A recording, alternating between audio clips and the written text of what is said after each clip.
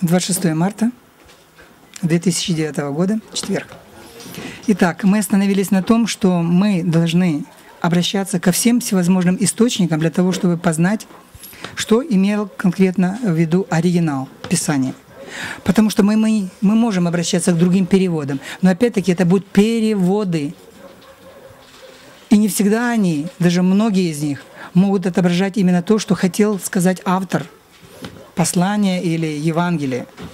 Поэтому лучше всегда обращаться именно к оригиналу, благодаря чему мы можем по номерам Стронга найти конкретно интересующее нас слово и сразу увидеть, что это. Существительное это или глагол, прилагательное это или наречие, предлог это или это частица. По номерам Стронга мы все будем знать, есть ли это слово или нет этого слова в оригинале текста. Если его нету, а оно написано в оригинале текста не курсивом, то возникает вопрос, а откуда вы взяли его, если в оригинале текста нет? Я говорю об этом. Почему? Потому что вот если вы будете исследовать Священное Писание, то вы во всех четырех Евангелиях не найдете слово «вино» во время хлебопреломления. В Евангелии от Марка оно там написано не курсивом даже, а в оригинале его нету вообще слова «вино». Там везде написано «от плода виноградной лозы». А что значит от плода виноградной лозы? Что сразу, что сразу там броженое вино выходит э, от виноградной лозы? Нет, конечно. Это особый вопрос. Я верю, что придет время, будет точно такая же большая статья, моя статья, напишу статью, основанную на Священном Писании относительно вина в Новом Завете. Потому что вино в Новом Завете – оно отображалось в оригинале текста, как в еврейском, так и в Новом Завете, разными словами. Абсолютно разными словами. Это очень большая, огромнейшая тема, которую даже вообще сейчас затрагивать ну, нецелесообразно. Почему? Потому что мы должны, я говорю, быть очень внимательны к тому, когда начинаем смотреть, исследовать и проверять. А что в оригинале? Видит служитель, пастырь в Новом Завете, в Евангелии от Марка слово «вино» даже не курсивом. Он верит тому, что оно там есть в оригинале. Какой подлог, я бы сказал бы так, юридическим языком. А его там нету, этого слова в оригинале текста. Там говорится только лишь о плода виноградной лозы, когда он взял чашу. А я говорю не для того, чтобы угодить кому-то, а говорю то, что написано автором в его книге – Понимаете? И мне абсолютно все равно, какую мне будут оценку давать э, люди. Нравится ему или не нравится. Я говорю не свое послание. Я говорю не о своем переводе. Я говорю, что написано в Священном Писании. Скобки – это тоже слово, которое в одних текстах оно имеется в греческих текстах, а в других текстах не имеется – в одних манускриптах оно имеется, в других манускриптах оно не имеется. Но на скобке это такое дело. Мы понимаем, что это такое, когда люди объясняют. Но когда речь идет о курсиве, то иногда курсив иногда может вести вас даже в заблуждение. Есть одно местописание в послании к римлянам –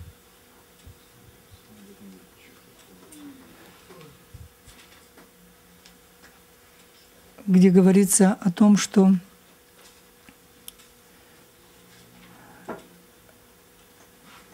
что нам не надо мстить за себя. В отношении гнева, что нужно претерпевать, даже если кто-то по отношению к вам имеет гнев –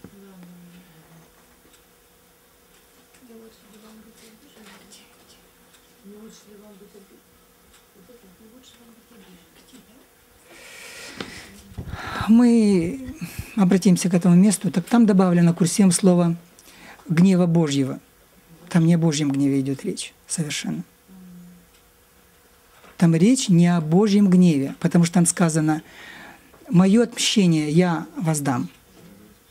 Когда мы позволяем кому-то высвободить свой гнев на вас и не отвечать ему гневом на гнев или оскорблением на оскорбление, то Бог говорит, не воздавайте кому-то злом за зло или гневом на гнев, Он говорит, мое отмщение я воздам. Там много параллельных мест. Какая? Девятый стих. 18, 9, 19. Какая? Какая глава? 12 глава, 19 стих.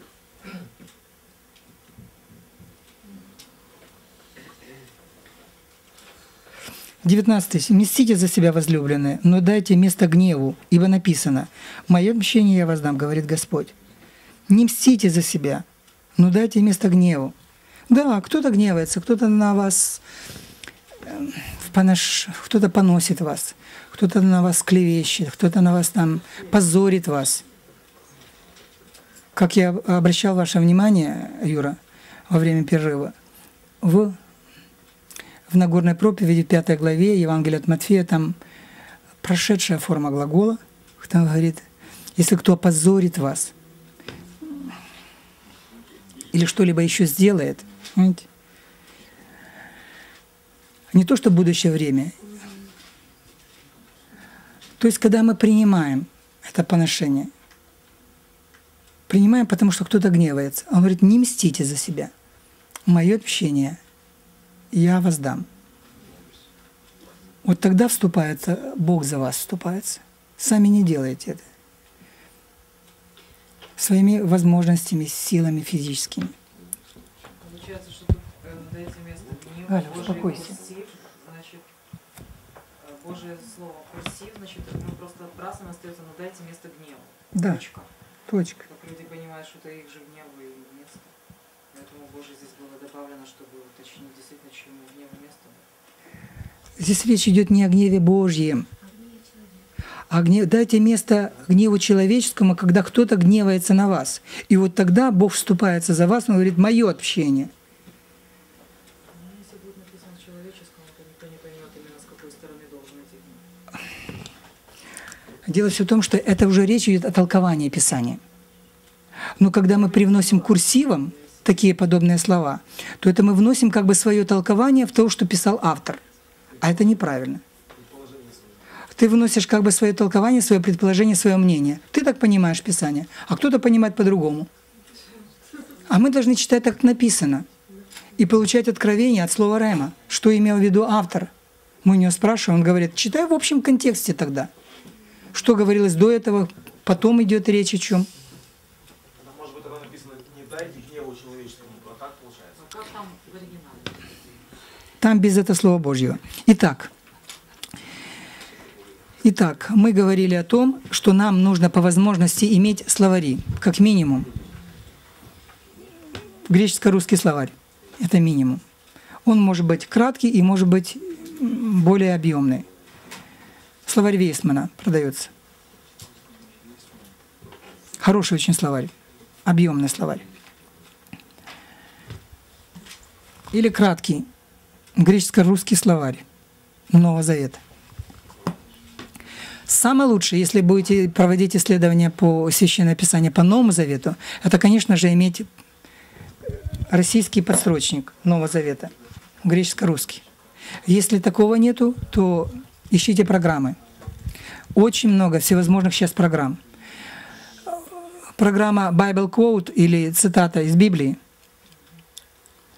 В ней есть все виды переводов и все виды э, также программ, связанные с исследованием греческого Нового Завета на греческом. Есть другие программы, славянская Библия, там тоже есть все виды программ. Каждая из этой программы, она проста в пользовании, очень проста. Достаточно обратиться к любому брату, он вам подскажет, вот что здесь, здесь, куда заходить, какой клавишей мышки щелкать, и вам будет все понятно. Но элементарно простая программа. Не думайте, что компьютер это большие сложности, это там его пока освоить. Нет, это не так. Уделите определенное время внимания, пару дней, и уже будете свободно пользоваться любой программой. Компьютерная связана с исследованием Библии. Помните, что слова Стронга, номера Стронга являются очень важным для того, чтобы отыскать нужное слово. Каждое слово пронумеровано. Обращаем внимание опять-таки на часть речи. Глагол или существительное. И потом смотрим переводы этого слова. Обращаем внимание очень при сложных стихах какой залог у этого глагола. Потому что может быть страдательный залог в настоящее время, пассивной формы, активной формы. Все это оригинал говорит. И тогда нам становится яснее, что именно происходит, потому что есть некоторые формы греческих глаголов, которые определяют время как прошедшее, настоящее и будущее одновременно. Ага. Я покажу вам пример. Это сложно к нашему пониманию, в то же время это имеет место. Кроме того, что если у вас будут все компьютерные программы, которые вы сможете достать для пользования, хорошо было бы, если бы у вас было еще несколько других переводов. Хороший перевод это Агиенко, очень хороший перевод Кулиша, Пулья Лавицкого, Ночуй Лавицкого. И есть вышла уже, как два года тому назад она вышла Библия, украинская Библия с комментариями. Это единственная пока на Украине Библия на украинском языке с комментариями. Это перевод Пантелеймона Кулиша, но они его отредактировали и сделали его на сегодняшний вред несовременным. Они просто привели его в ту редакцию, литературную редакцию, которая у нас существует на сегодняшний день. То есть вы свободно сможете читать на украинском языке этот перевод. Они его отредактировали. Они не делали новый перевод. Правда, редактируя, они кое-какие внесли туда неточности. Да, оригинал, их оригинал, их перевод – самого Кулеша. Говорит иногда там слово «он» с большой, вернее, с маленькой, то имея в виду начальника слугу. Там есть послание, по-моему, к римлянам. Они берут и пишут с большой. Так, переводчики это писали, это имея в виду начальника, с маленькой «он».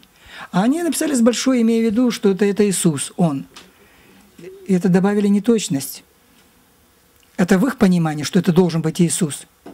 А в понимании тех переводчиков там был не Иисус, там был именно нас в виду начальник. Но тем не менее, они сделали огромнейшую, очень хорошую работу, заслуживающую внимания, и иметь такую Библию это было бы большое для вас благословение. Из всех комментариев, существующих на сегодня день, это один из лучших комментариев к Библии всей. Не только к Новому Завету, а к всей Библии. Правда, на украинском языке. Сложно будет читать, но вам все равно вы сможете все понимать прекрасно. Это не английский, не немецкий, не какой-то другой язык. Сможете понимать. Потом, кроме перевода Агиенко, Кулиша, было бы хорошо иметь на русском языке для прочтения. Перевод Библии называется «Полноценная жизнь». Новый Завет они сделали очень хорошо. Ветхий Завет немножко оставляет желать лучшего, но Новый Завет у них очень хороший. И к этой Библии «Полноценная жизнь», особенно к Новому Завету, он называется «Библия для нашей жизни», Новый Завет. Синий такой, большого формата, на тонкой бумаге папирусной. Там очень много комментариев. Половина всего Нового Завета этого издания – это комментарии к Новому Завету. Там свободный, там идиоматический перевод, там смысловой перевод – там не такой период, как мы имеем в синодальном переводе, слово в слово, вот буквально, если этого нет в оригинале, там сразу курсивом. Нет, я вам говорил, что иногда даже в греческом языке, в оригинале, там три слова, они переводят ее 12 словами. Да, сложно переводить, но тем не менее у них хороший идиоматический перевод. Очень высокую оценку даю этому переводу, поскольку комментарии на сегодняшний день из Нового Завета на русском языке в этом, в этом издании, я бы сказал, бы, это самый лучший комментарий к Новому Завету на русском языке. Это в этой полноценная жизнь. Э, Библия для нашей жизни. Синяя такая, большая. Еще раз подчеркну, самые лучшие комментарии, которые есть на сегодня. Для всей Библии это украинская Библия. Хорошие комментарии также есть Женевская Библия, неплохие комментарии. Но там просто синодальный перевод. Вы должны знать. Женевская Библия, там вся Библия и Новый Ветхий Завет – это синодальный перевод.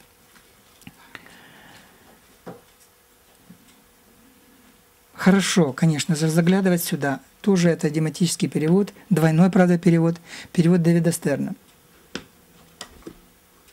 Еврейский Новый Завет. Стоит его заглядывать в него, читать его стоит.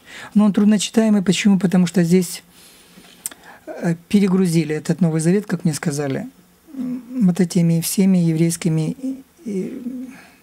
именами. Даже ученики, талмудиты, там, понимаете, все это очень сложно воспринимать, когда люди читают, и тем более первый раз. Да, хорошо, конечно, там, когда Дух Святой это на еврейском языке, когда все имена на еврейском языке, понятно, там, Мариам, там, Иешуа, да, это здорово.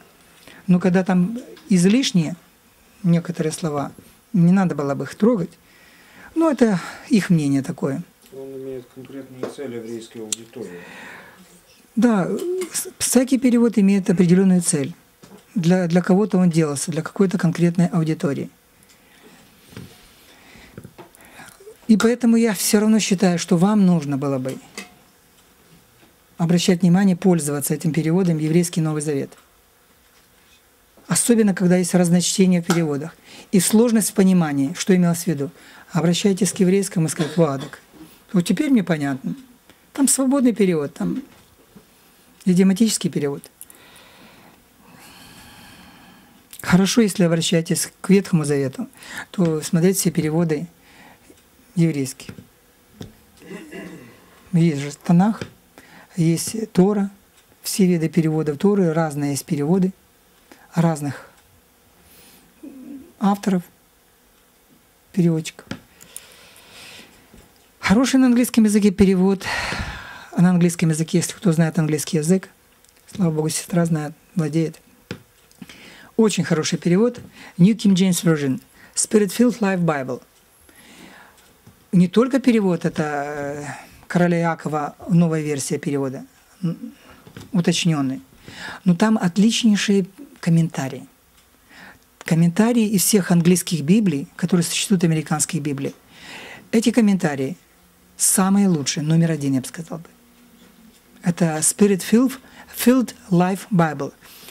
Spirit-filled — это духом наполненная Библия, жизнь, жизнью, духом наполненная жизнью Библия. Многие студенты пользуются ею и пользуются многие проповедники этой Библии. Она очень популярна и большими тиражами издается, и очень авторитетная перевод, и сама Библия, вот это издание, Spirit-filled Life Bible, очень авторитетная.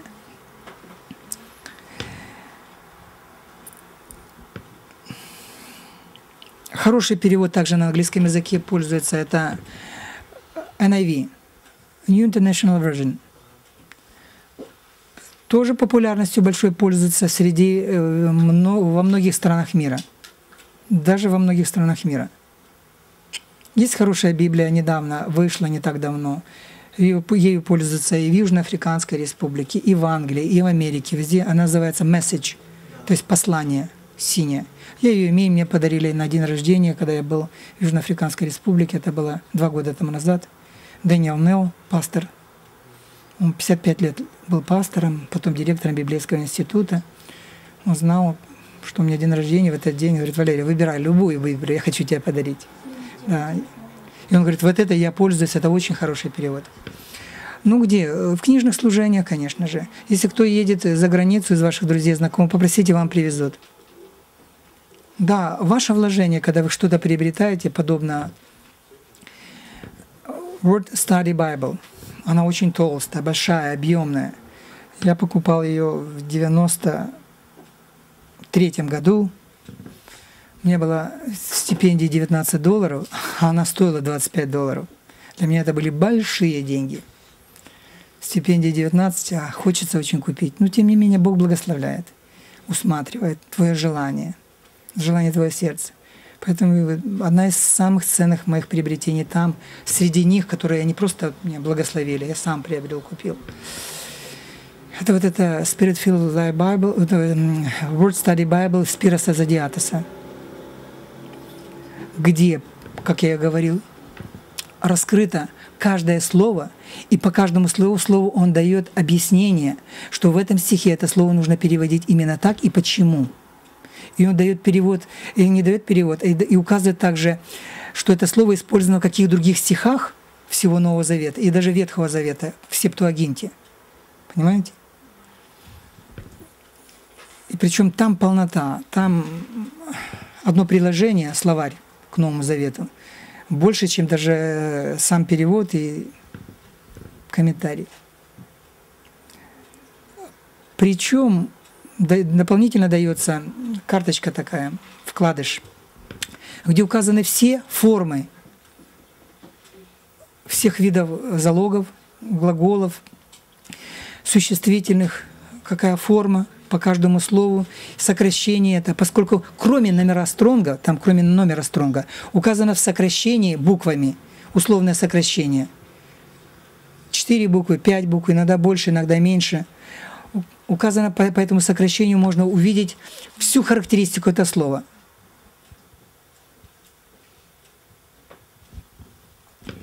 Есть маленький учебник греческого языка. Есть большой, есть маленький, тоненький учебник греческого языка на русском языке. Издание это нашего Киевского госуниверситета, по-моему. Это достаточно хороший, простой, элементарный учебник для приобретения знаний, необходимый для того, чтобы вы свободно могли не только изучать греческий язык, а именно пользоваться этим учебником, который будет помогать вам не только в прочтении, а в грамматике, в переводе, в понимании, смысловом значении а, слов греческого э, Нового Завета текста.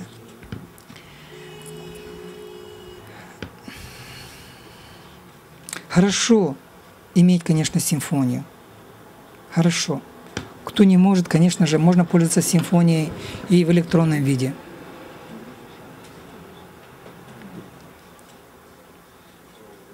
По симфонии, конечно, вы будете ориентироваться очень быстро и всегда будете находить любое слово в Новом Завете. Если вам надо очень оперативно найти какое-либо слово, вы можете обратиться к симфонии и по одному ключевому слову сразу же найти даже это место Писания. Все программы сейчас, э, электронной версии Библии, все программы и Нового Завета имеют такую опцию, как э, по одному слову найти нужный стих. Он тебе сразу выдаст все стихи с этим словом, вообще Священное Писание. Кроме того, кроме того,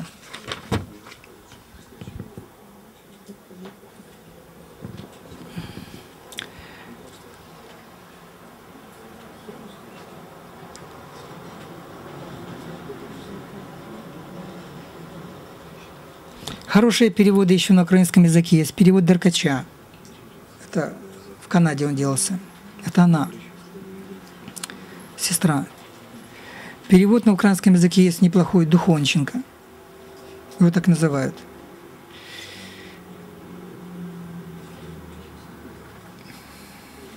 На русском языке неплохой перевод есть архиепископа Кассиана. Его еще по-другому называют перевод Безобразова. Это его фамилия. Серьезная работа была проделана Институтом переводов Библии. Называется это Заокский институт переводов Библии в России. И называется перевод под редакцией Кулакова. Это тоже свободный перевод, но достаточно, достаточно точный по отношению к оригиналу, хотя и свободный. Они выделяют во всех местах. Если слова нет в оригинале, указывают его курсивом. Они очень хорошую работу проделали.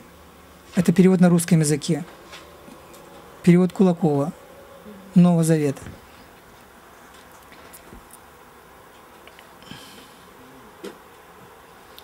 Есть также электронная версия переводов Библии, называется Bible Online. Электронный вариант программы такая есть. И славянская Библия, кроме Bible Quote. Цитата из Библии. Ну, славянская Библия это надо приобретать у Федосова в Донецке. Он занимается этим многие годы. Конечно, на этом CD-диске есть все виды переводов и программы Нового Завета, Ветхого Завета и Танах, там во всех видах. Там все есть. Федосов. Или по-другому ее называют славянка. или славянская Библия. На ней изображен значок, там изображен это такая голубенькая Библия с крестом. Quote это коричневая, красная Библия с крестом.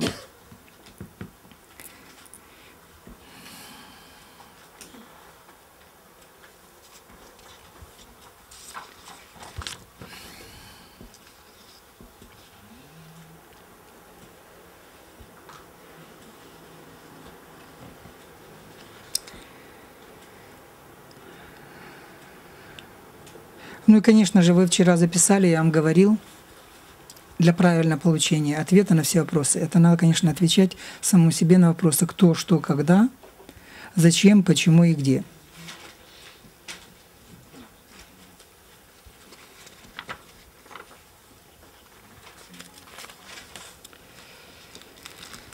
Итак,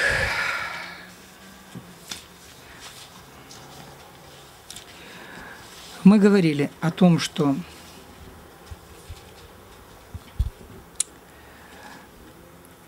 синодальный перевод дает это местописание преподносит нам. Евангелие от Матфея, 11 глава, 12 стих. Читаем, что одни же она крестителя, да ныне Царство Небесно усилием берется, и применяющие силу восхищают его. Это синодальный перевод. Усилием и применяющие усилия, да, употребляющие усилия. Усилия, силу восхищают его. Силой берется и применяющие усилия восхищает его.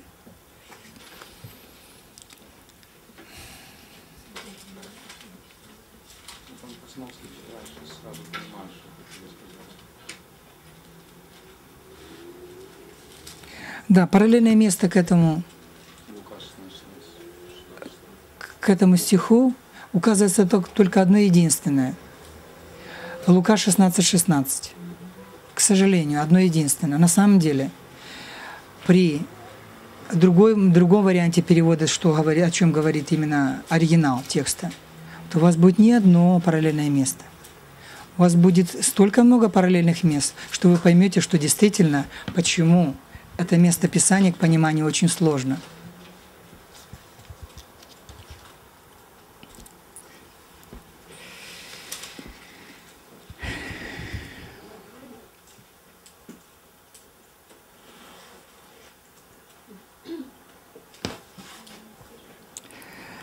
Хорошо.